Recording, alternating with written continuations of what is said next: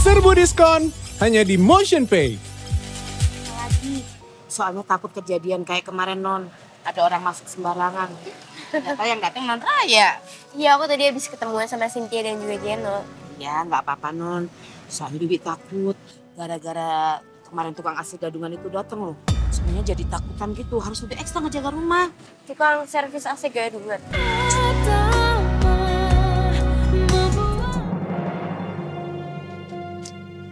Jadi kepikiran kata-kata Erika terus. Wilda tuh istri aku. Aku yakin dia gak mungkin ngelakuin hal yang bodoh. Karena dia bilang dia gak cuma cinta sama aku, tapi dia juga cinta sama Raya, Albi, dan juga Shira. Kalau Wilda mau jadi ibu sambung yang baik, harusnya dia nggak pernah menghancurkan mental anak-anak, Mas. Dia tuh maksa anak-anak untuk manggil dia mama. Anak-anak juga butuh adaptasi. Aku gak mau ribut lagi sama kamu ya. Tapi tolong kamu hargain Wilda, karena aku percaya sama dia. Kamu percaya sama Wilda? Kalau bukan aku yang percaya sama dia, siapa lagi?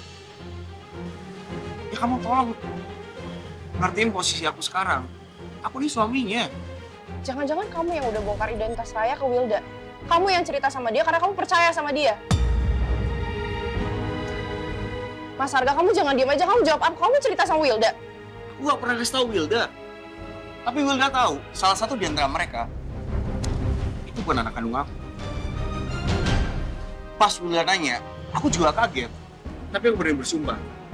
Aku gak pernah cerita ke Wilda soal identitas Raya. Terus Wilda tahu dari siapa lagi kalau bukan dari kamu? Aku berani sumpah, aku gak pernah cerita. Ya tapi mungkin aja kamu ceroboh, kamu nggak sengaja ngomong. Mas, kamu harus ingat ya. Kalau sampai Wilda tahu soal ini, yang harus bertanggung jawab itu kamu.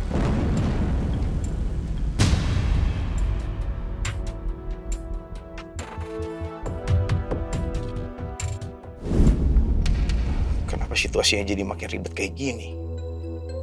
Aku udah minta Wilda fokus ke hubungan aku sama dia. Dan jauhin Nabila apalagi anak-anak. Tapi Wilda malah nekat. Jangan-jangan kekhawatiran Erika bener. Wilda punya rencana buat ngancurin Nabila. Dengan cara mencari tahu identitas Raya, Albi, dan Sira. Kalau sampai Raya tahu, dia yang bukan anak kandung aku sama Nabila. Gue gak pernah bisa maafin diri aku sendiri. Jawab, Hilda. Mantan Pak Bos, please sabar ya, yang sabar ya. Coba tarik napas dan buang napas. Inhale, exhale. Jer, saya lagi nggak bercanda. Jangan ganggu saya.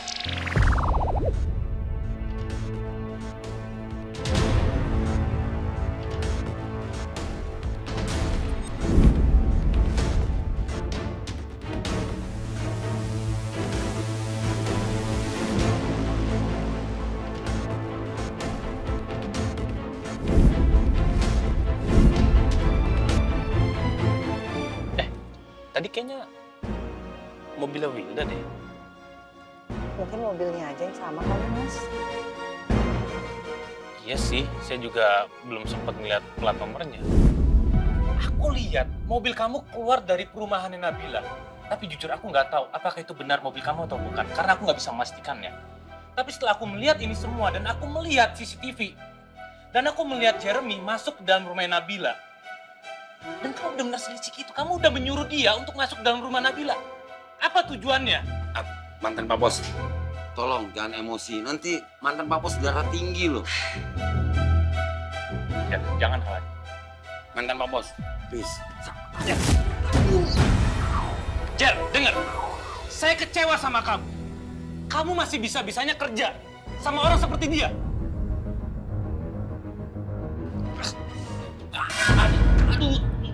Dan aku pikir setelah apa yang terjadi sama kamu, kamu akan berubah gitu aja. Tapi enggak, kamu semakin parah terhadap Nabila. Nggak usah sok bener kamu. Aku nggak bilang aku benar. Aku bilang kamu semakin parah terhadap keluarga Nabila. Kamu tuh kenapa sih belain Nabila segininya? Padahal Nabila tuh belum move on loh dari Mas Arga, ingat. Yang belum bisa move on itu Arga dari Nabila. Salah kamu. Buktinya Mas Arga sekarang udah nikah sama aku, dia masih nikah sama aku. Aku istri sahnya Mas Arga. Kamu memang istrinya Arga. Tapi yang di hatinya Arga itu bukan kamu. Itu Nabila.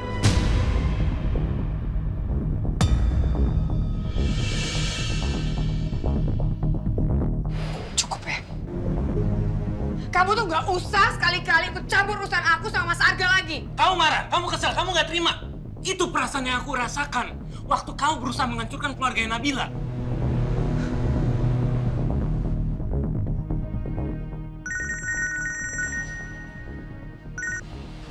Assalamualaikum. Waalaikumsalam Pak Firman. Eh, Pak, maaf kalau saya ganggu, tapi saya lagi panik banget karena saya mau coba hubungin Mbak Nabila tapi nggak bisa. Apa Pak Firman lagi sama Mbak Nabila? Enggak, enggak. Kebetulan Nabila lagi nggak sama saya sekarang. Ah, ada apa, Erika?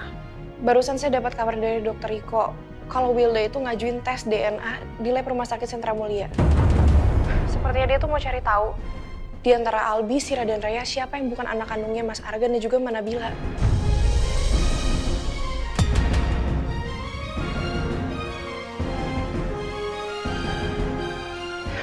Halo Pak Firman, suara saya kedengeran jelas nggak? Iya, iya. Saya dengar kok. Saya dengar. Saya ngerti. Dan makasih atas infonya. Kebetulan memang di hadapan saya ini sekarang ada Wilda. Dan saya akan pastikan semua rencana Wilda itu tidak akan berjalan. Makasih ya Pak, kalau gitu teleponnya saya tutup dulu. Saya mau kirimin foto yang tadi dikasih sama dokter Iko soal Wilda yang ngajuin tes DNA di Rumah Sakit Sentra Mulia. Oke, terima kasih. Kenapa? Hmm? Kamu belum puas ya? Belum puas nyala-nyalain aku? Iya. Aku nggak habis pikir sama kamu. Kamu benar-benar keterlaluan sama keluarga Nabila. Dan sekarang kamu sudah diem-diem. Mau tes DNA untuk anak-anaknya Nabila. Buat apa?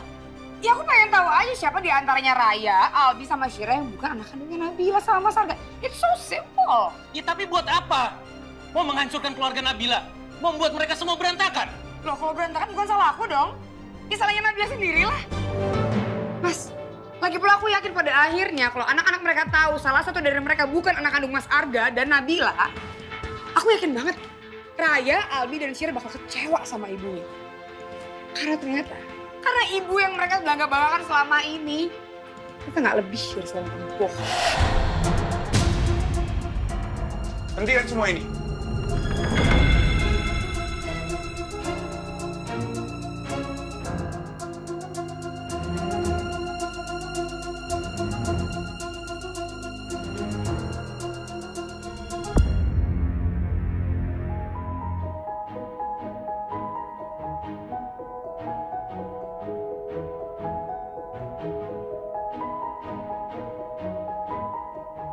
Makasih ya Pak.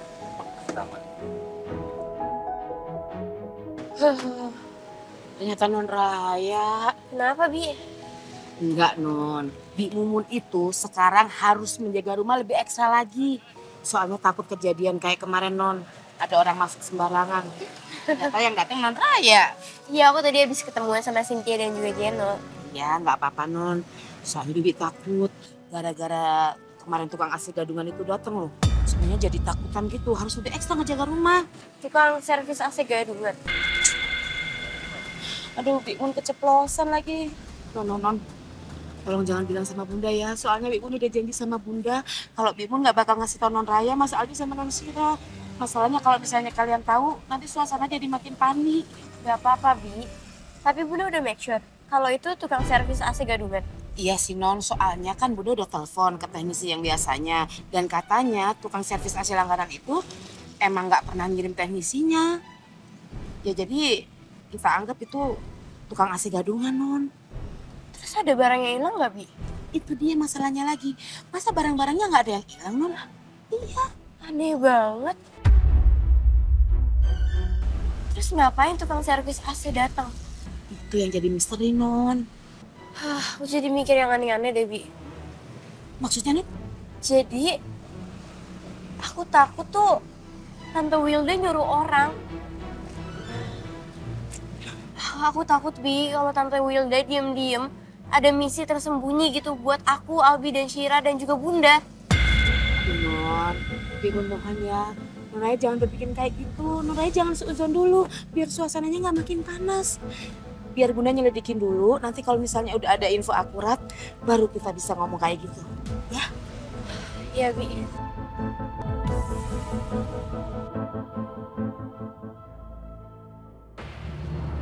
Udah. Selamat pergi dari sini. Dan jangan cari masalah.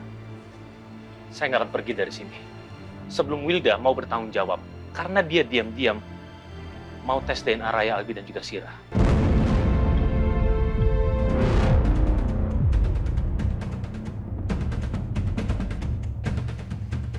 Dan ini adalah buktinya.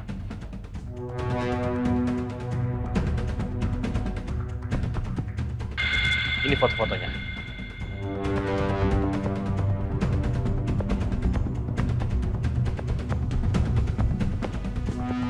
Erika yang mengirim kepada saya.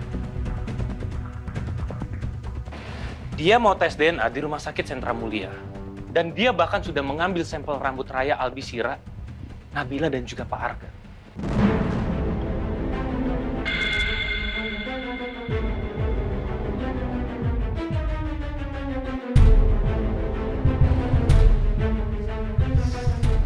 Silakan pergi dari sini. Pak Arga nggak percaya kalau ini semua yang melakukan adalah Wilda. Kalaupun Wilda melakukan itu semua, biar itu jadi masalah pribadi antara saya dan Wilda. Karena Wilda istri saya, dan ibu sambung dari Raya, Albi, dan juga Shira.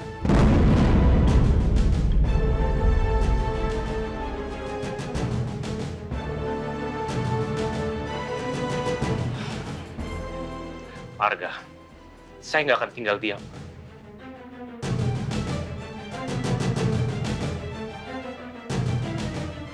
Saya sudah berjanji sama Nabila. Saya akan membantu dia apa pun masalahnya.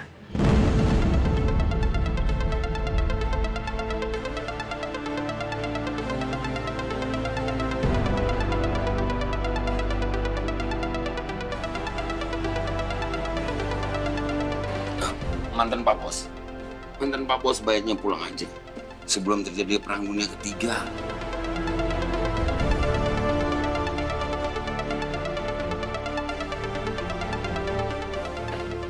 Dan saya yakin kok Pak, Nabila nggak akan tinggal diam.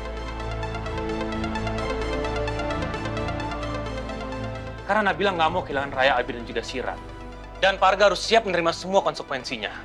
Kalau suatu saat nanti, anak-anak Bapak akan membenci Bapak.